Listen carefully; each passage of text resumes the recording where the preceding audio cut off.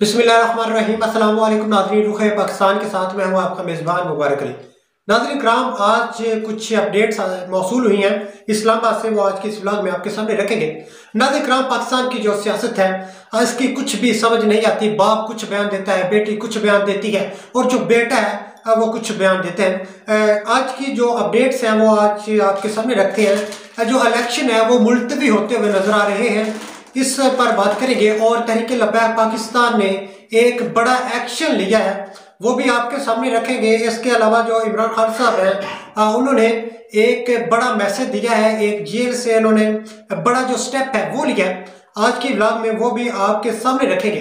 कल आपको बताया था कि इमरान खान साहब जो है उनको अदालत में पेश नहीं किया जाएगा। उस हवाले से जो बात है आज करेंगे कि जे, जेल सुपरिटेंडेंट साहब जो है, उन्होंने अदालत को खत लिखा है उसमें उन्होंने बहुत ही दिलचस्प उसके बाद दर्द से भरे हुए अल्फाज लिखे हैं, जिसकी वजह से जज साहब को तरस आया और उन्होंने कहा कि इमरान खान साहब को अदालत में पेश ना किया जाए, उस पर भी बात करेंगे। अगर आप हमारे चैनल पर नए हैं तो चैनल को सब्सक्राइब कर लीजिए। बहुत शुक्रिया जजाकल्ला पहले तो आप बात कर लेते हैं, आज 28 नवंबर है और खान साहब को अदालत में पेश किया जाना था, लेकिन पेश ना किया गया।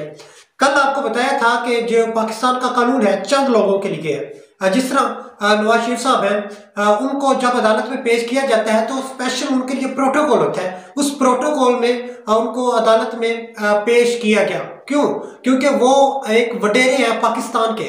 आप यूँ कह लें कि वो पाकिस्तान के ठेकेदार हैं, और ज़ाहिर बात है कि ठेकेदारों के लिए जो कानून है, वो अलग होता है, और जो पाकिस्तान के मतलब समझ गए होंगे, उनके लिए कानून जो है वो अलग होता है। आज इमरान खान साहब को अदालत में पेश किया जाना था, लेकिन जेल सुपरिटेंडेंट साहब जो है उन्होंने एक अदालत को खत लिखा, ऐसे दस्तबस्ता अर्ज़ की कि आप, हम पे रहम करें, खुदा का वास्ता है सिक्योरिटी खदशात हैं तो आप, इमरान खान साहब जो है, उनकी जो समात है, वो अदालत की बजाय आप जेल में करें।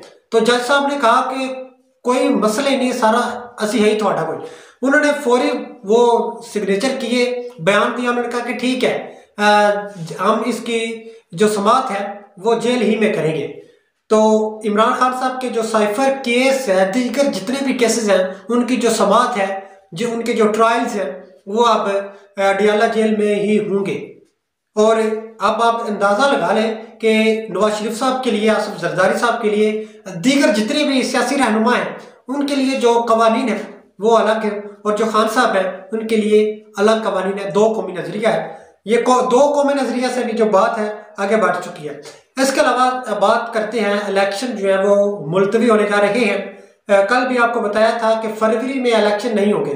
बिलावल भुट्टो जरदारी साहब जो है वो बाप से नाराज़ होकर दुबई तशरीफ़ ले गए थे और वहाँ जाकर उन्होंने मंगनी कर ली है। कुछ खबरें गर्दिश कर रही हैं कि 20 फरवरी के बाद और 24 फरवरी से पहले उनकी जो शादी है वो होगी। यानी कि डेट जो है 20 से 24 तारीख के दरमियान रखी जाएगी और 8 फरवरी को इलेक्शन है। तो इससे भी ज़ाहिर होती है कि जो पाकिस्तान के सीनियर तरीन तजिया कार है एनालिस्ट है, वो भी ये बताते खुद कह चुके हैं कि पाकिस्तान में जो इलेक्शन है, वो 8 फरवरी को होते हुए नज़र नहीं आ रहे। या तो फिर होंगे अप्रैल में अप्रैल में नहीं होते तो फिर अगस्त में होंगे।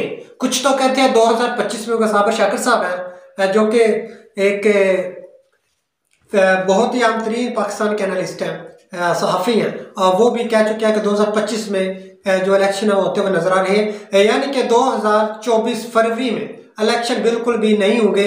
आप ये बात जो है माइंड में ना रखिएगा। उसके बाद तरीके लगा पाकिस्तान ने एक बड़ा एक्शन लिया है।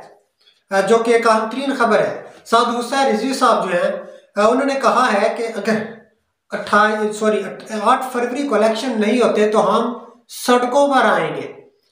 आप जानते हैं कि तरीके लबैक पाकिस्तान जो है, इसके साथ काफ़ी ज्यादती की जा रही है। सोशल मीडिया ब्लैकआउट है, इनको बुलेटिन का हिस्सा नहीं बनाया जाता हेडलाइंस का हिस्सा नहीं बनाया जाता इनके जो ब्रेकिंग के फट्टे हैं, वो नहीं चलाए जाते। ये एक वाहिस पाकिस्तान की जमात है। ये मजहबी जमात है, खाली सियासी जमात नहीं है। अक्सर ये कहा जाता है कि मौलवी जो है, ये सियासत में आ गए तो पाकिस्तान का बेड़ा गर्क हो जाएगा। भाई, थोड़ा सा सोचे, मैं कोई तरीके लबैक पाकिस्तान का तर्जमान नहीं हूँ। लेकिन जो हक और सच की बात है वो हम करते रहेंगे और कर रहे हैं और करते रहे हैं। तो वो आपके सामने रखते हैं। आप नबी पाक सलाम के ज़माने की बात सुन लें। जो नबी पाक का दौर है, वो अपने माइंड में घुमाइए। एक बार जो आपका माइंड है, इसको यहाँ से उठाइए, वहाँ ले जाइए, देखिए, तब सियासत कौन करते थे? कोई भी अगर कोई फैसला है, वो मस्जिद में होता था। क्या अब मस्जिद में नहीं हो सकता? क्या अब मौलवी जो है, वो सियासत में नहीं आ सकते?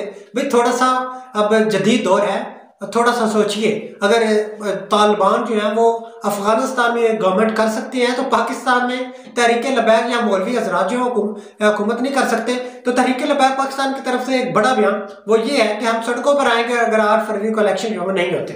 तो इलेक्शन तो होते हुए नज़र नहीं आ रहे। अलबत् देखते हैं कि आने वाला जो वक्त है, वो क्या कहता है कि इलेक्शन जो है, वो आठ फरवरी को होते हैं या नहीं होते मियाँ मिठू चूड़ी।